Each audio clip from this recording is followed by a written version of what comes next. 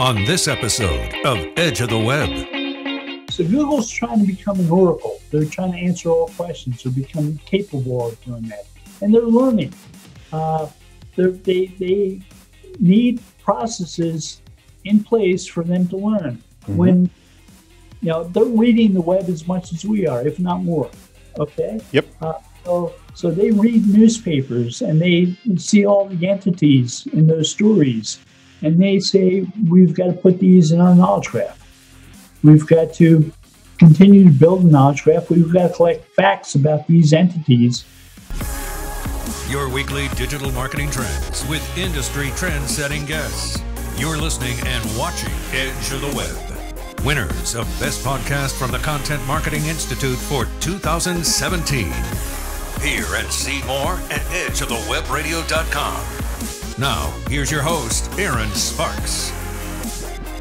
Let's introduce Bill to our audience. He's certainly been on the show before, but let's, uh, hey, if you're new to the show, we certainly want to re- introduce you. He's worked as a solo consultant in an agency uh, and, and is presently the director of SEO research for Go Fish Digital. He's been involved in internet marketing and web promotion since 1996. Yes, he knows his stuff. Uh, he's written over a thousand posts on the website SEO by the Sea and more on go, the, on the Go Fish blog about search patents and papers from search engines. This is very very important, everybody. Bill's one of the one of the only um, uh, SEO professionals and mar- marketers that's doing deep diving into patent submission from Google, and Google's throwing out thousands of patent uh, requests a year, right? They seem to have been decreasing. Is that good or bad? I'm not quite sure. uh, well, Bill has worked on a wide range of sites from nonprofits to Fortune 500 companies. He's known for his research in, in patent filings. And, and on top of that, Bill gives a really good abstract and summary of, of what that patent actually means. Because here's the deal is that Google's actually continually submitting patents that uh, that don't really paint the entire picture of what their intent is when they're building a particular uh, uh, uh additional algorithm change. But they're certainly thinking about and creating certain key elements. And Bill is one of the ones that actually is looking at the larger pattern, and he's starting to put these pieces together on a regular basis. So, so you're kind of doing the clarion call for us and, and giving us a, a forewarning of. what's to come. But but Bill, uh, can you can you quickly give us your backstory uh, uh, outside of what I've just covered? Any other things that uh, uh, are are interesting and uh, you wanted to share with us? I do have a law degree. I didn't go into SEO with with with SEO as a the career that I had intended to go into when I first got out of college. Right. I I actually wanted to practice environmental law. That's right. And I went to law school. Uh, I was a teaching assistant for an environmental lawyer who, who taught environmental law at law school. And he had me going through a document that he created on doing research in electronic databases to assess natural resource damages. This was in uh, 1989, 1990. Right. Before there was web. So we're looking into things like LexisNexis and so on, uh, getting a sense of what it was like to use information resources that are really rich, really detailed, like the web is, and to find answers to questions. And, and I sort of like that. I sort of, when the chance came to do SEO, and I had that background of, of being in an information rich uh, profession, and law is an information rich profession, uh, it, it felt like a natural move to get involved. Well, it's, it certainly is a uh, a, a, uh, unique space uh, inside of inside of legal and and how that has actually aligned you to um, paying attention to some some things that most digital marketers don't see, and that's actually the patent side of, of, of Google's behavior because everything that they're developing um, is certainly uh, they, they're, they're protecting it and they're sending signals to to us if you pay attention to that particular that particular turret. So, I mean, you you've been with us for a year now. What's that in Google years, by the way? A good question. well, I mean, there's been there's been a number of you know uh, from the you know from the recent key jumps here over the over the year. I mean, knowledge panel growth, right? Uh, That's been huge. Um, your money and your life algorithm changes, right? And that was back in August. Um, Google has multiple channels happening at the same time. They they don't just uh, place a bet on one thing. They've got multiple horses in the race. no, Uh, you better believe it. N- So- and on top of that, I forgot to mention uh, the quality rater. Uh, uh, uh, uh, the quality rater uh, updates uh, that have been, I mean, the human factor of what uh, Google's going after, let alone the core update. I mean, there's so many things that have happened. Um, Yeah. It's it's it's very important to pause for a second because we can get kind of yanked by all all the news of all the different changes as we see the the waves crash on our SEO boats, right? You're paying attention to something even further, and that's what they're planning to do. So, um, we, well, first and foremost, we thank you for doing that because that, can't be comfortable reading material when you're going through all the patents. But you certainly are already wired wired for it from your legal side, right? I'm very curious too. I want to know what Google's going to be doing in 10 years, what they're planning on doing behind the scenes now. You know, that, that scene in uh, uh, Wizard of Oz, ignore the man behind the curtain, Right. nothing.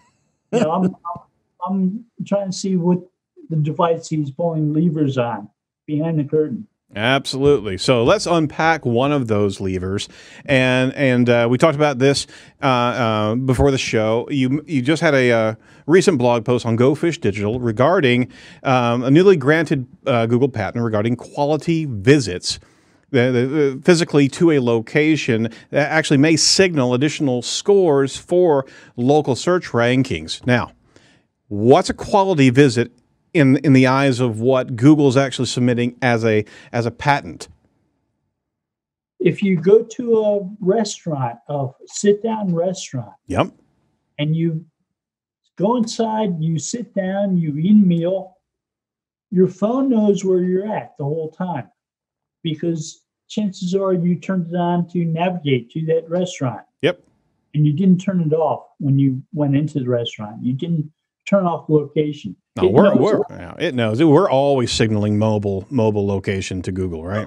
So you see in, in knowledge panels for different stores, uh, they have indications of how busy the stores are at different times during the day. Mm-hmm. The busiest time is because they're tracking how long people are staying in places, how long they wait in lines at amusement parks, Yep. grocery stores, and they they have this insight. They if you uh, get emails from Google that ask you to track your location to help build your timeline. Hmm. Uh, they're asking where you visited, where you went to, and if they have everything right, if they've gotten the right places. You know, they don't necessarily understand where I work Mhm. and where I live because they're the same place. Because I commute to work and my commute's about three feet.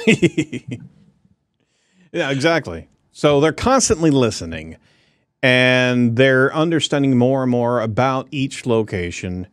And we're we're kind of, um, unbeknownst to us, we're voting with our devices as it applies to the popularity of a particular location or not, correct? So a quality visit to a restaurant that you sit down in could be an hour, Right. 15 minutes, half an hour. A quality visit to a pickup restaurant where you, like a McDonald's or something, where you stand in line, order food, and leave, could be five, 10 minutes. And they're both quality visits to different types of places. Right. So uh, Google announced in the Google blog recently that they're thinking about giving out uh, Badges. Yeah. regional badges for the most popular places, business types. So if you have the most popular restaurant, the top 5% restaurants in the town, you might get a badge from Google to display, uh, which sort of shows that they're taking this quality visit score seriously. Mm-hmm. That would they would know that from tracking where everybody goes. And this isn't the first time they would be using location information. Uh, when you use Google Maps to navigate from place to place, they'll give you indication sometimes on how traffic is in certain uh, uh, trips. Mhm. They'll tell you that there's like a, a half an hour delay on the highway that you want to go on because there's been an accident of some type. They're using GPS from other people who have their phones turned on to understand that there are delays in traffic. Right. And it's the same concept using GPS information, cell phone tower triangulation, Wi Fi access point information. They have a number of ways to find out location information.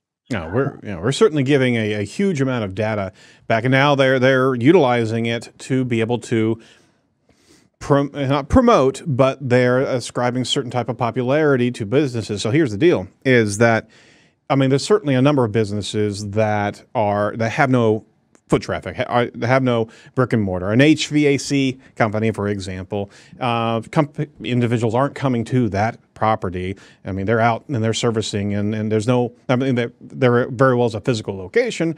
However, nobody's coming to it. So, in the midst of how they're reviewing these navigational destination sites, right? They're certainly looking at the the the the visit, and they they're certainly deducing what type of shop this is and what type of visit this is. Um, they, they've sort of, they sort of had that concept in mind for years. They, Okay. they had something they called location sensitivity. mhm. They would determine uh, the fact that uh, people sometimes went to some types of businesses less frequently than others, like a travel agent Right. or, uh, you know, as opposed to a pizza place. So, when on a map, when you search for a travel agent, they would show a much wider range map because they expected travel agents to be over a wider range. Sure. You know, they they're aware that different types of businesses have different visit patterns associated with them. So th- th- these these businesses don't have an unfair advantage against the the non brick and mortar, but they're also they're also following another other a number of other signals that you can provide, such as check-ins on social media services, geotagged pictures and, or videos, navigational requests, the like. So. Um, even if you're a business that doesn't have foot traffic, you can still take advantage of these signals and and you know challenge your your your staff, challenge you know the actual visitors to be able to to be able to leave that digital wake behind them, right? All to the benefit, uh, and so you know you you may actually see a, a good deal of popular venues have that that badge. Um, we'd hope that uh, the badge can be utilized in one way, shape, or form online as well. But um, They haven't actually come out with those yet. And in the blog post, they said they would be coming out with them towards the end of the summer. Absolutely, absolutely. So watch for that. Uh, you're uh, if you're if you're one if you have your business online with Google My Business, right? That's the first thing. Got to make sure you've captured that. If you haven't, you know, something's out there. You better go ahead and grab it. But uh, you know, we've seen beacons get sent. Uh, they're certainly going to be sending uh, physical badge placards or what have you, and they're also going to tie in a digital badge as well. So we- we're voting with our devices. We're certainly giving the data to the engines, and the engines are, are and Google in particular, are paying attention to these factors. So be aware, local businesses, that uh, all this is being paying attention to. So you might want to drive some more traffic to your location to be able to be one of those uh, those uh, five percenters, right, Bill? Right. All right, so shifting gears, uh, and we we have a number of, of key concepts to get into. We talked about schema in our in our news, but uh, there has been a growth of schema uh, in in search results uh, over over over the uh, over the years. Um, can you give us a synopsis of what featured snippets are and uh, how schema feeds that featured snippet? Sure, it's evolved. Okay. Yep. So, so at first, when Google was answering, okay, it evolved from uh, the concept of answer boxes. Mm-hmm. When Google decided to spread out into multiple uh, vertical searches like local uh, maps, images, and so on, they said, okay, we'd like to show these in normal search results and put them as an answer when it seems appropriate. Mm-hmm. When somebody asks a question that might trigger them, we'll show them uh, an answer that isn't one of the 10 blue links they're normally used to seeing. We'll show them one of these results from a vertical search result. So somebody searches for uh, best hamburgers in Carlsbad, and the top result might be a map pack Mm-hmm. right? Uh, and that's an answer box. Featured snippets are an answer box from a fact based repository. So the idea is somebody asks a, what looks like a question. They analyze the query, they say, This is a, a query that's looking for an answer Mm-hmm. let's show them one of these answer boxes. And that's what the featured snippet is an answer that's a fact based answer. They used to uh, look for questions and answers in uh, text Right. on sites, and they created a big data store of questions and answers. They then moved on to questions that may have been formatted using like something like a header. And they would fill that data store with questions and answers where the uh, questions may have been in header format. Mm-hmm. And it's quite likely that they've moved on from this to what they're perceiving as answer passages, which are text based answers that are accompanied by facts that might be found in something like schema markup or a table. Mm-hmm. And it, it's structured data. So they're, they're looking for not only text based answers, but also facts that they can include in those answers from one of those structured data sources. Right. That's the evolution of featured snippets at this point. An answer box that maybe can be fueled by schema markup or uh, ta- tabular data that also has a good, easily readable answer in text. So these this was the beginning. Uh, the answer boxes started to pop up, and um, we have have jumped ahead, and we we're all very familiar with now uh, what those answer box, boxes are and the knowledge graphs, the the knowledge panels that are being uh, presented by by Google now, and featured snippets are one of the components or the rich data or the structured data that's coming from those sites, those factual data pieces. They're making their way into a larger ecosystem of knowledge graphs and, and knowledge panels. Um, you wrote in June uh, about categorical quality, uh, quality scores in particular in ranking search. Now we were kind of progressing down the submarine here. Is that that's where that's where content was and rich structured snippets were. Um, now we're in a space where we're starting to look at the category of content. Um, the patent that you referenced uh, it referred to a search system r- that ranks the resources based on their relevance to the query and importance. So um, it's all about intent, right? To a degree, yeah. Mm-hmm. So you've got the informational and navigational intent. Can you give us some informational and navigational intent examples for us? Okay, uh, easy one. Mhm. searched for pizza around lunchtime. What's my intent? You're hungry. You want to go have lunch. exactly. Yep. I, I got that one right. uh, I search for how long is Harry Potter? I'm not being pornographic.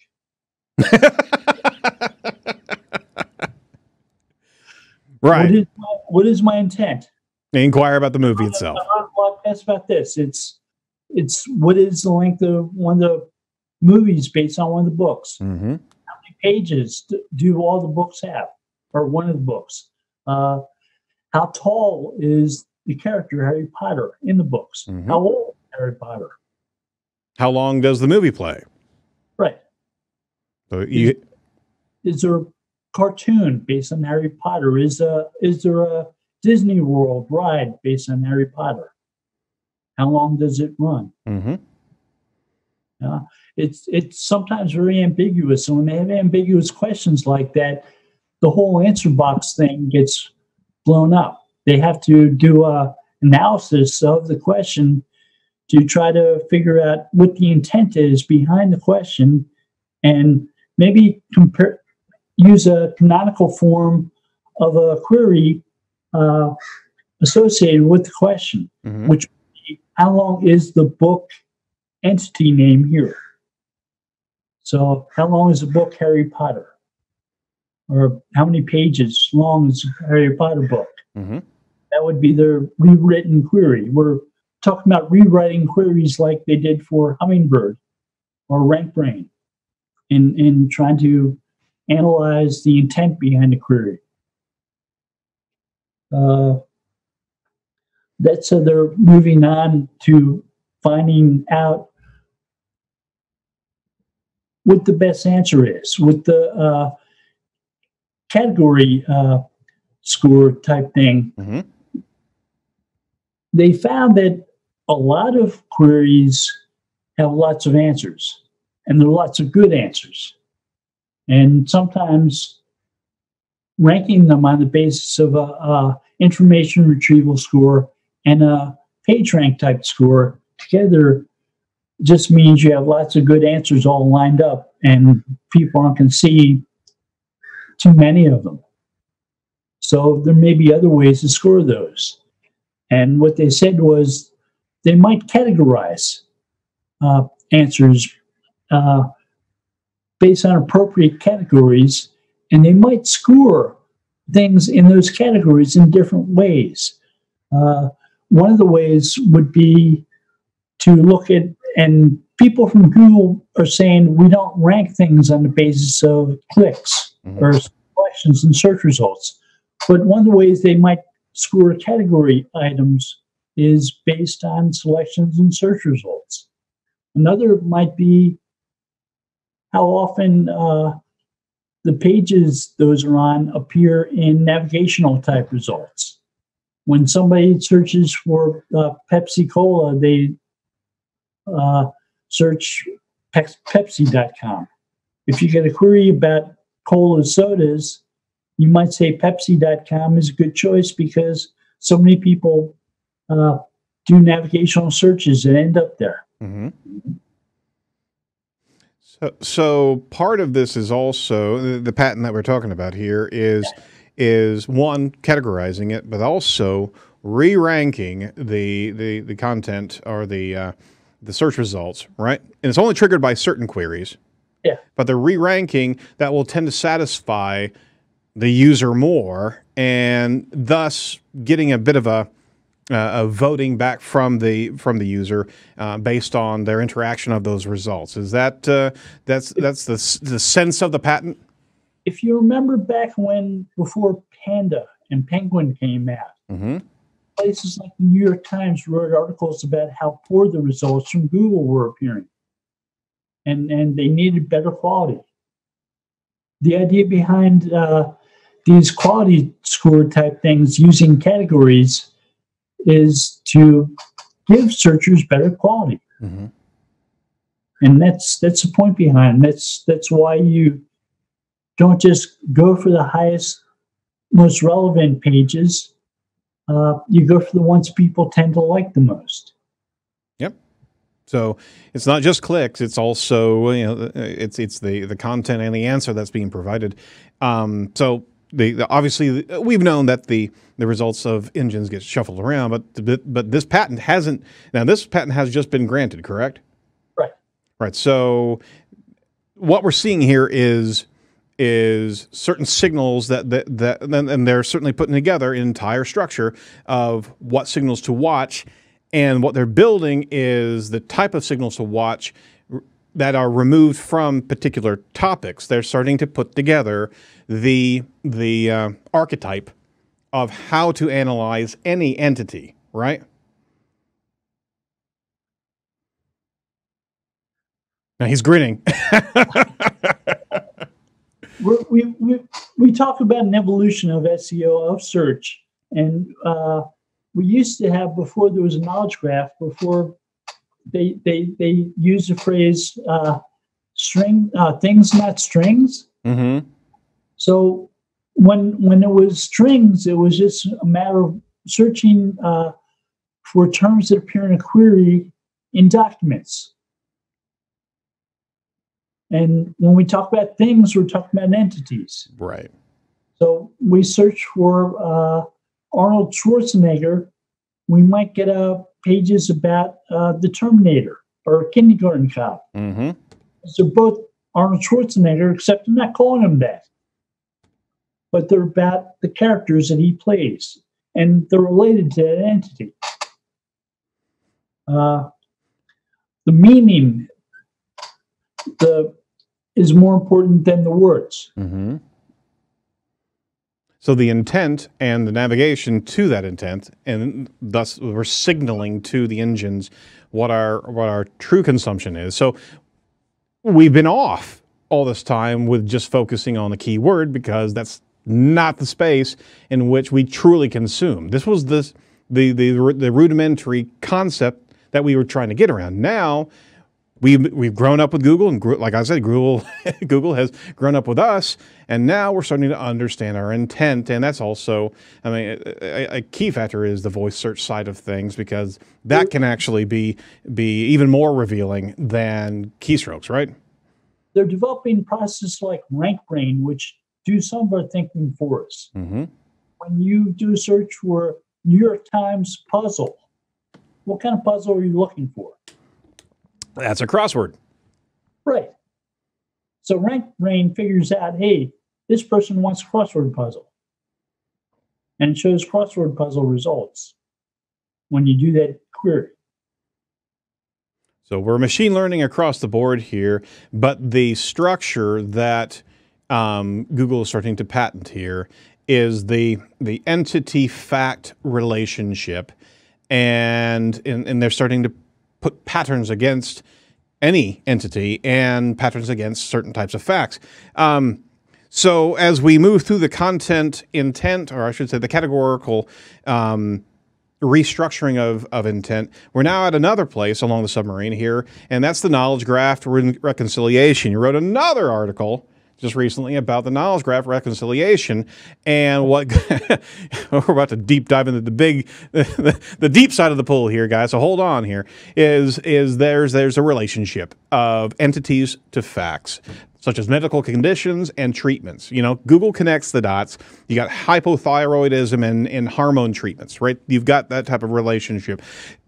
Systems are, are in place are about learning new relationships as well. And this is what they're starting to strike out on, strike into is how to learn these new facts that may very well not be online, right, Bill? So Google's trying to become an oracle. They're trying to answer all questions. They're becoming capable of doing that, and they're learning. Uh, they're, they they need processes in place for them to learn. Mm-hmm. When you know they're reading the web as much as we are if not more okay? Yep. Uh, so so they read newspapers and they see all the entities in those stories and they say we've got to put these in our knowledge graph. We've got to continue to build a knowledge graph. We've got to collect facts about these entities. So we create uh, we're known as triples mm-hmm. uh, which are subject verb object. So uh, you have Bryce Harper is a Philadelphia Philly. Mm-hmm.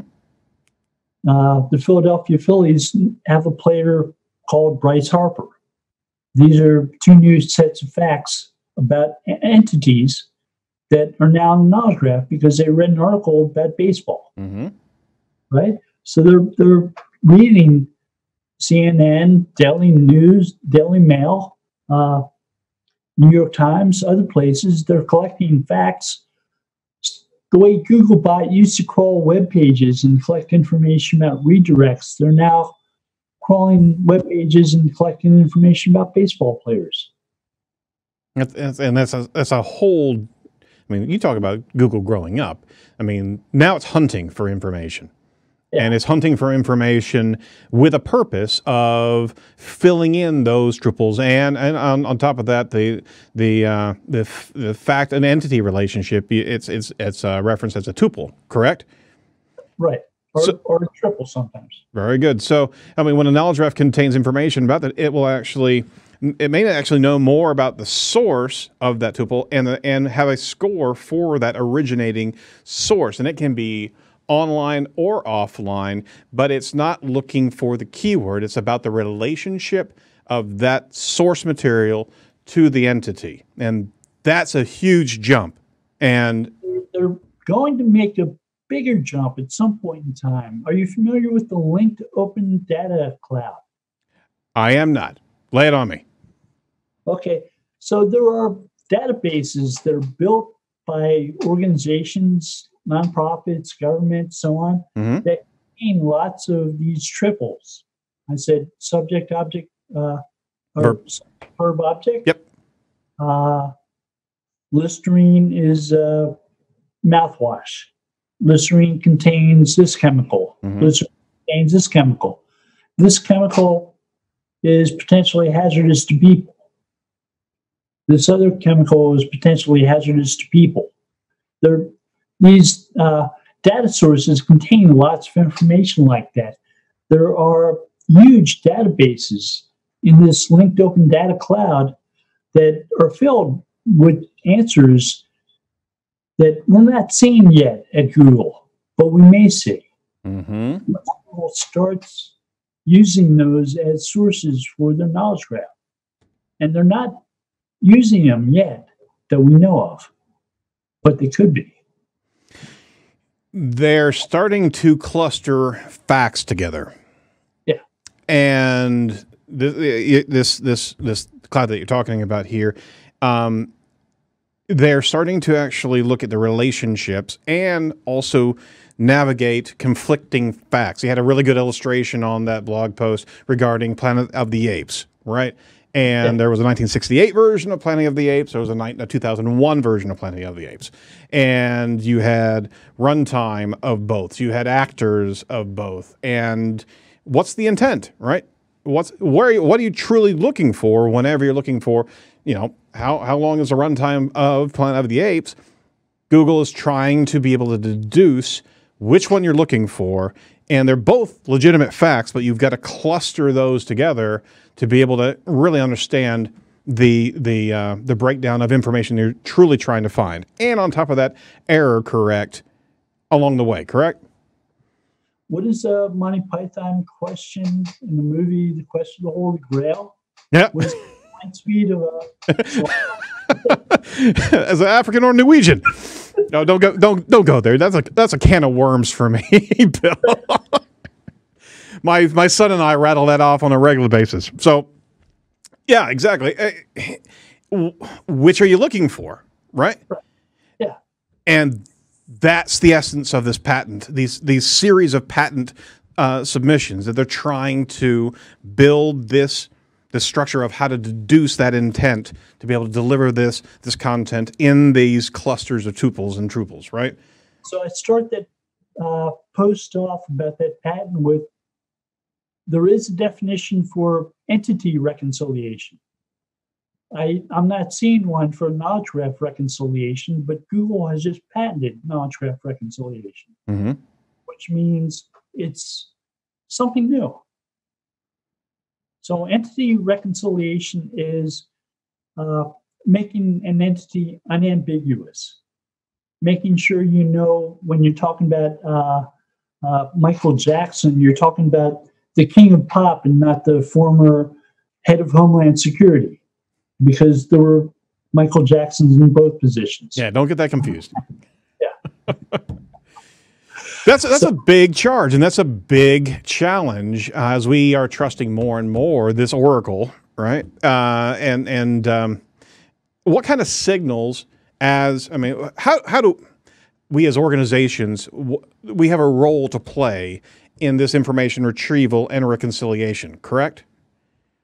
So we're providing information that Google's not aware of. We're creating things that get added to its knowledge graph. Mm-hmm.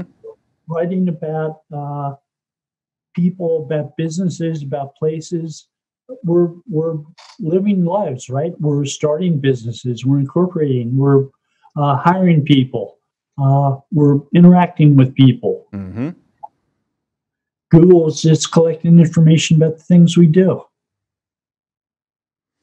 That's right. They are, and they're learning how to fix incorrect data. But but we have the role in, in, in our in in our content online to be able to help help fix that data as well. Help help help by our level of authority of a website. This is where EAT, the entire concept, comes through and helps us helps us sit in a particular position of authority and communication, of our expertise, authority, and trust to be able to be a player in that in in that in that field because there are scores that are being applied by Google of where the authority lies for this particular piece of information. So content on on a, a company's website that is connecting the dots, so to speak, and and creating uh, information that can be validated and and is cited, you you can be the purveyor of of um, uh, information to be able to help connect the dots for Google. Is is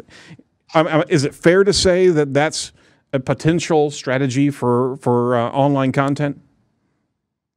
We have people who are experts in fields who uh, Now, if you if you know if you know scuba diving really well, mm-hmm. write about scuba diving and you explain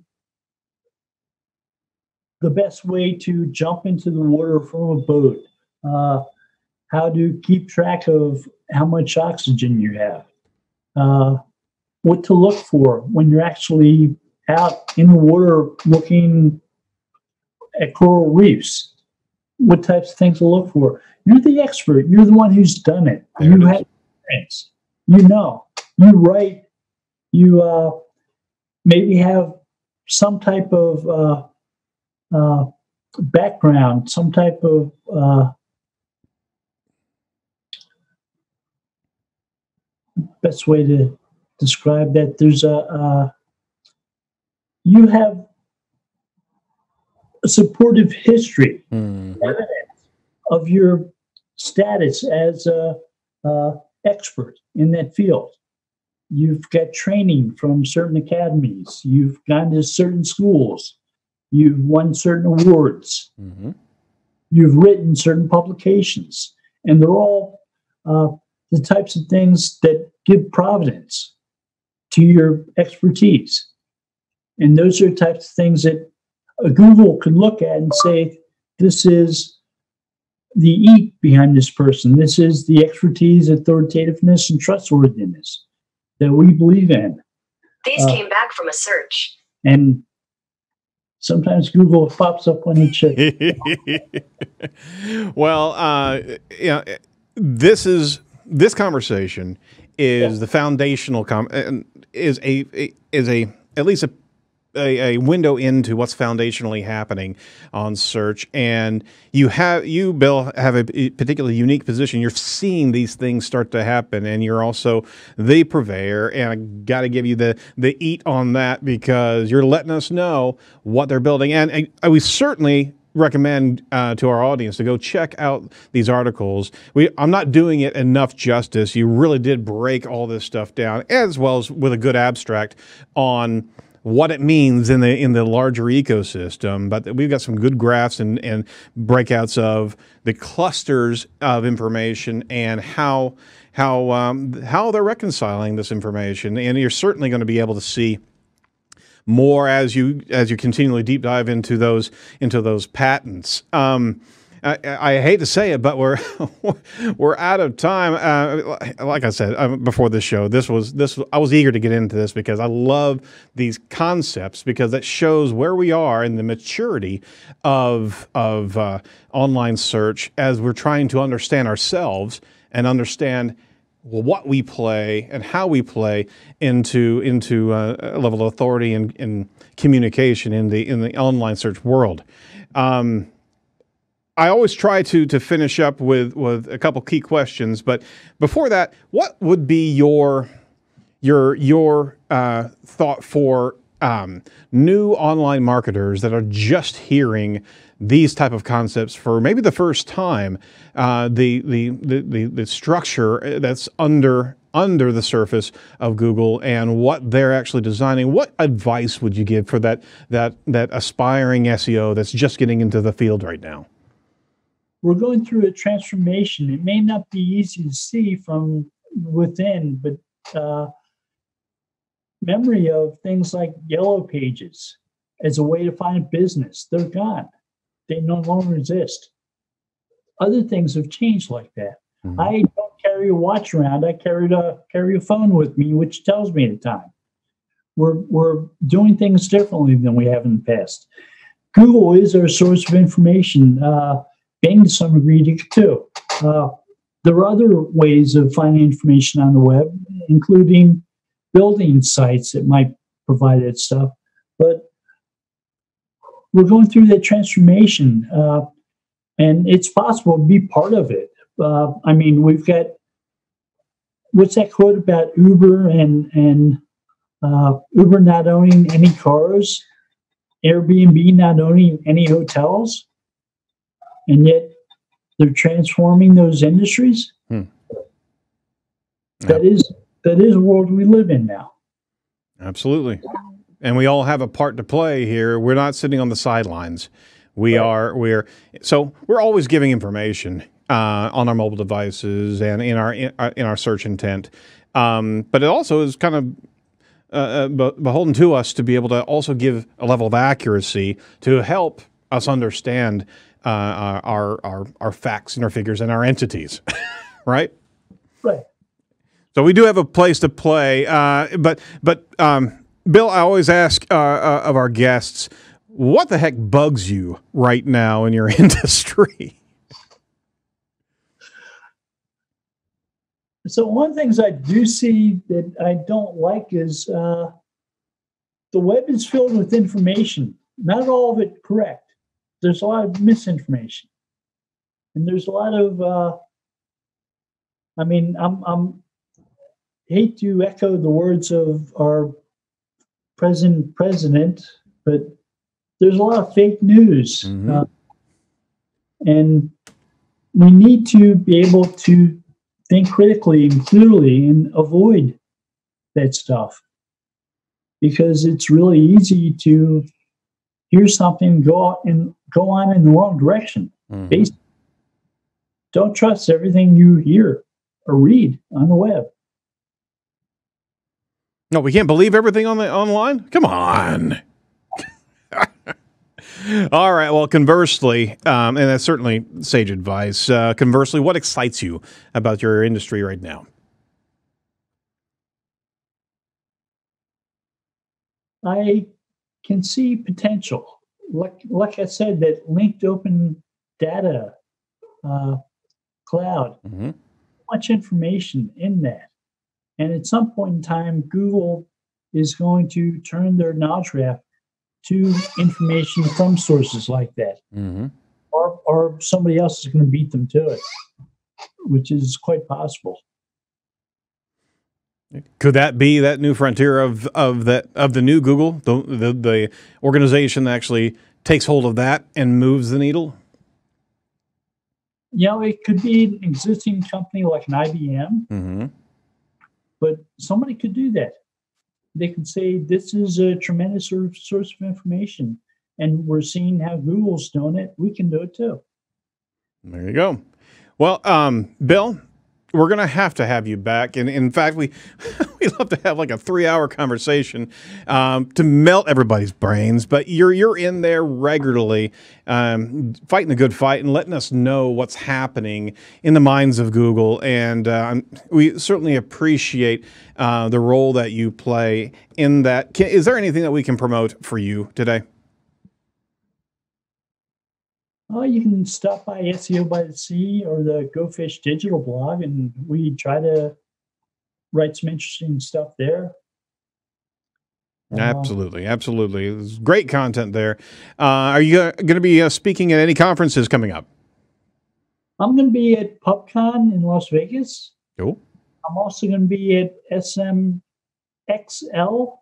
in Milan, Italy in November. Oh, very good. I spoke there last year and they invited me back. So must have done something right. I enjoyed Italy, so I'm going back. well, uh, we certainly appreciate your again your continued con- contribution. We want to make sure our audience knows where to find you on Twitter. It's Bill underscore Slawski, uh, Facebook Bill dot Slawski, uh, LinkedIn LinkedIn Slawski, uh, actually right there. S L A W S K I. Um, along with that, uh, any any last final thoughts for our our digital marketing audience? Not Sure. I included a lot. Yeah, you did. All right. Well, thank you so much for your time today, and we really appreciate it. Thanks for listening to Edge of the Web Radio.com. Special thank you to our colleagues over at Site Strategics for continuing to, to be able to produce our show here. Uh, especially uh, thank you to our guest, Bill Slawski. Uh, fantastic content, fantastic information. Keep aware of what's happening behind the scenes. Pull back that curtain a little bit, everyone. Be able to see what Google's doing because they're they're continually going at new frontiers of how to understand us. So be sure to check out all the must see videos and much more insider information over at edgeofthewebradio.com. That's edgeofthewebradio.com. We'll talk to you next week. Do not be a piece of cyber driftwood. Bye bye.